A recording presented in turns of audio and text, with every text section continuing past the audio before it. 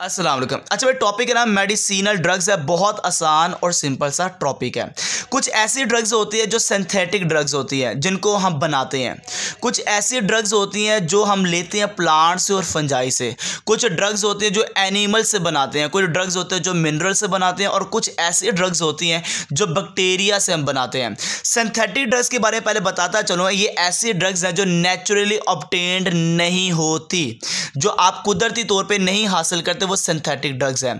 ये आप सेंथिसाइज करते हैं लेबोरेटरी के अंदर। आप लेबोरेटरी में बनाते हैं और फार्मास्यूटिकल कंपनीज़ इसको प्रोड्यूस करती हैं इन ड्रग्स को फार्मास्यूटिकल इंडस्ट्री जोन से होती है। जैसे एस्पायरीन ये ऐसी मेडिसन है जो कुदरती तौर पर हम नेचुरल प्लांट से नहीं हासिल कर सकते, इसको खुद बनाना पड़ता है। ये सिंथेटिक ड्रग्स हैं। कुछ ऐसी ड्रग्स हैं जो प्लांट्स और फंजाई से हम हासिल करते हैं। मतलब ऐसी मेडिसिन जो ऑप्टेंड करते हैं प्लांट से और फंजाई से।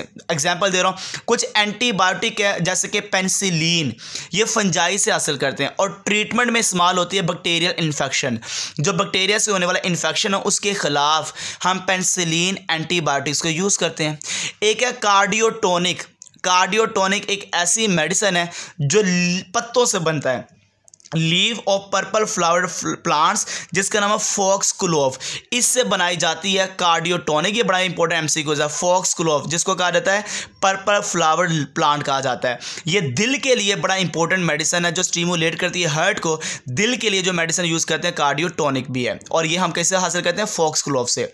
मोरफिन एक ऐसी मेडिसिन है जो पेन किलर है। पेन के लिए हम यूज़ करते हैं। और ये किससे बनाते हैं? ओपियम पोपी प्लांट है। ओपियम पोपी प्लांट, जो कि पेन के रिलीफ के लिए हम मेडिसिन बनाते हैं, जिसका नाम क्या मॉर्फिन है।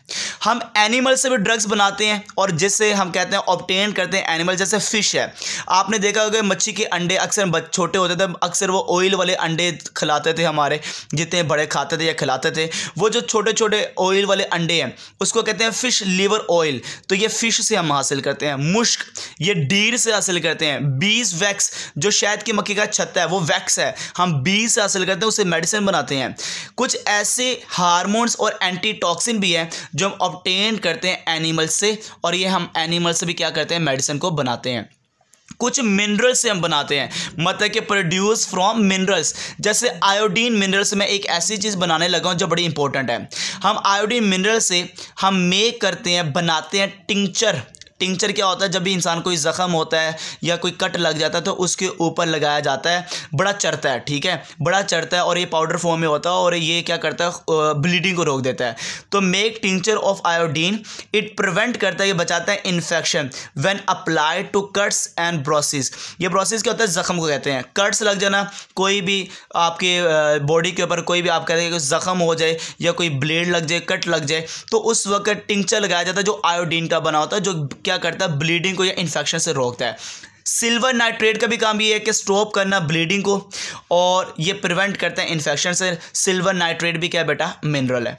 और कुछ काफ़ी ऐसी मेडिसन है जो बैक्टीरिया से हम हासिल करते हैं बैक्टीरिया से बनाते हैं और उसका नाम है स्टेप्टोमायोसिन तो स्टेप्टोमायोसिन जो सी है, ये याद रखना ये एंटीबायोटिक है और ये हम बैक्टीरिया से हासिल करते हैं।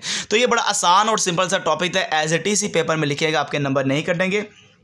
हाँ ये मैं बता दूँ, आपके मैट्रिक के काफ़ी लेक्चर अपलोड हो चुके हैं प्ले लिस्टें बन चुकी हैं, आप जाके देखें स्टडी करें as a T C paper में लिखें, आपके नंबर नहीं कटेंगे, और इसी तरह से आगे लेक्चर और भी अपलोड होते जाएँगे। ओके बेटा, अल्लाह हाफिज़।